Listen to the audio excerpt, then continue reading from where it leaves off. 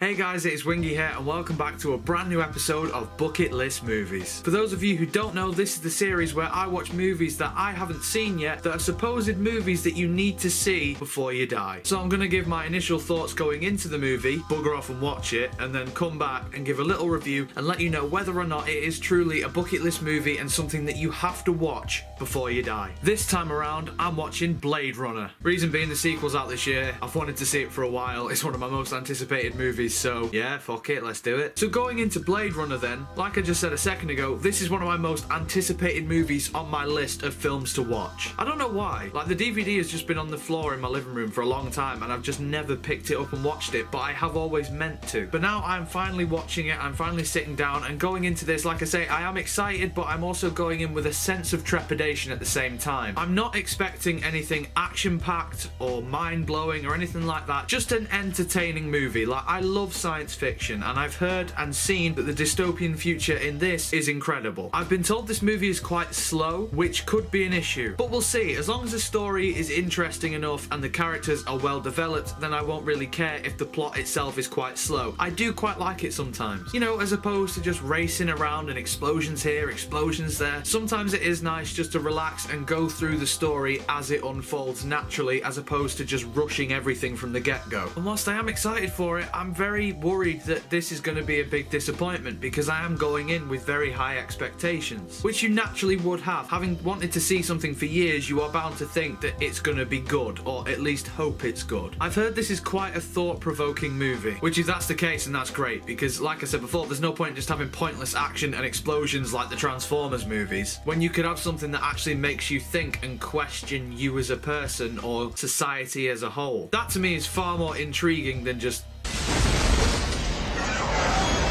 really want to enjoy this movie. That's my mindset going into it, and hopefully, hopefully, hopefully, I won't be disappointed. Also, because I know Blade Runner has multiple different versions, I have no idea which version I'm watching. I don't know if it's the theatrical release, the director's cut, the whatever cut. I don't know which version it is. I will tell you once I've watched it and when I come back. So if I watch the wrong version, then I apologize. But in the comments below, if you have seen it, let me know which is the best version to watch. I mean, by the time you see this, it'll be too late anyway. But just so I know for future reference which one is the best one. So now I'm going to go away, I'm going to watch the film. Hopefully it's good. I'll be back in a sec, for you at least. And I'll tell you what I think of Blade Runner. One eternity later. I still don't know what version I watched, but that was definitely an experience. So I've watched the film now, I am back, and here is my review of Blade Runner. Now when I said then an experience, that is exactly what this movie is. Now I said before, I had heard that it was slow, and it is. But the thing is, you get so invested into this world and what is going on, and the way that it looks especially is just so gorgeous. You fall into this incredible neo-noir science fiction world and it is just brilliant. The pacing is slow, like I say, but it's as fast as it needs to be. This isn't an action movie, this is a more thinking piece. And it really does make you think. There's a lot of elements in here to do with various different things, such as artificial intelligence or replicants as they're known in this. There's the sense of morality, the sense of what it really means to be a human, and the use of technology in our modern society. All throughout this film, you're just so intrigued as to what is happening in this world, and you do really relate to Deckard. Is it Ducard or Deckard?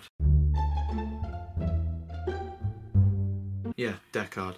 You really do relate to Deckard and his struggle thinking, is this the right thing that I'm doing? There's so many things in this movie as well that you can tell, even though it wasn't the best received movie when it came out, you can tell it's a cult classic now because the amount of stuff that is in this movie that has influenced or been referenced to in projects or films or TV shows further down the line, it's incredible. The entire place itself reminds me of Coruscant in Star Wars Episode 2. The scene where he's chasing the stripper woman and shoots her through the glass, that is definitely something that they reference referenced in Red Dwarf Back to Earth. And I could be wrong, people may get offended for me saying this, but I feel like Pris was definitely an influence in the creation of Harley Quinn for DC. And there's other elements like that that you recognise from other things that have come further down the line, and it really does show that this is such an incredibly influential movie. Going back to the way that it looks, typically when you see futuristic worlds, they're all pristine. In this, it's not. Everything looks a bit battered, everything looks a bit used and worn, and it really adds to world building in this movie. Now, as gorgeous gorgeous as it looks visually, the way that this was directed by Ridley Scott is really impressive. Like, it looks like nothing else I've seen before. He's so innovative with the way that he uses his shots, whether it's the lens flare, not like J.J. Abrams, but whether it's a lens flare or light flashing on somebody's face, or where he just places the camera or the angle that he puts the camera at. There's a lot of interesting ways that he has shot this movie. And in terms of Ridley Scott movies, for me, this is definitely up there with the Alien movies, the good ones at least. Whether you think this film is boring or not, if you've seen it, you can't deny how gorgeous it looks and the way that it's shot is so interesting and unique. And well, to be fair, that's the main thing that I would use to describe this film. It's interesting, unique,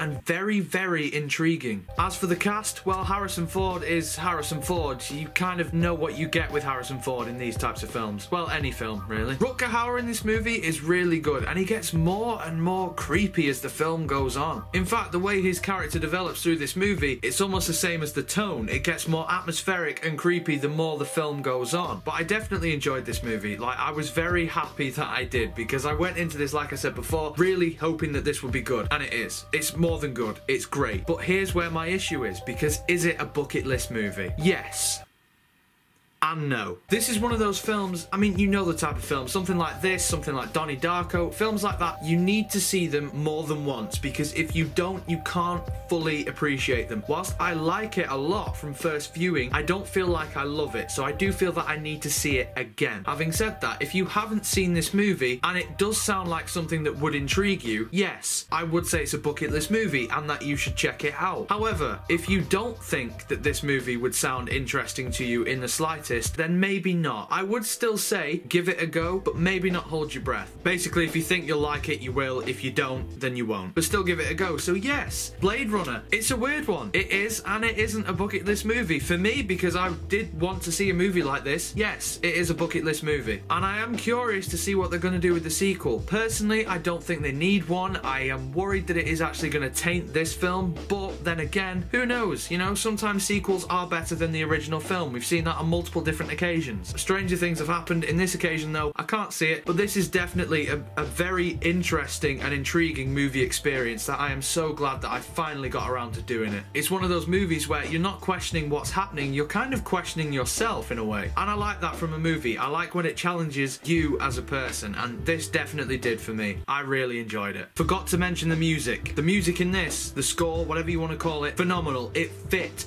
perfectly. In fact, I've never heard a score in a movie fit what is happening on screen more so than in this movie. There are films out there that have incredible soundtracks, but the one to this, it's so different, and yet it fits what this film is. Vangelis did a really, really great job with the soundtrack. So if you're into your movie scores or whatnot, this is one to check out. And that is what I think of Blade Runner. Bucket list movie for some, maybe not for others, but there you are. So I hope you guys enjoyed this video. Next on Bucket List Movies, I don't know. I'll look through my list because I've got a list of stuff, but in the comments below, let me know what you think of Blade Runner. Do you love it? Do you hate it? On the fence about it? Whatever it is, let me know in the comments below because I was excited for this and it delivered for me. I'm just curious to see if other people had that same experience with the film. But if you enjoyed this video, then make sure you leave a like. That'd be greatly appreciated. If you want to see more bucket list movies or any of the other crap that is on my channel, then make sure you subscribe. And if you do, I would love you forever. But until next time, guys, take care of yourselves. Goodbye.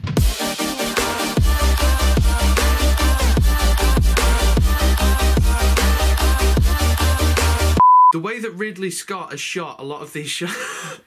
that just sounds like a fucking word thing. The way that Ridley Scott shot a lot of the. That's like a rap that I'm doing. That's really bizarre.